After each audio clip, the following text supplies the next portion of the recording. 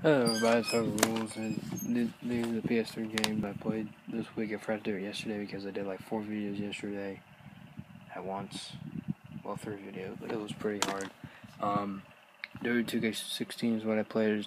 I just got done with all my creations. I'll probably make some new ones. Red Dead Redemption, uh, restart, I'm almost done being a second time, so that's it. The regular one. Um, if you like this video, leave a comment, subscribe for more. Hope it was out. Bye guys. Bye bye bye. bye.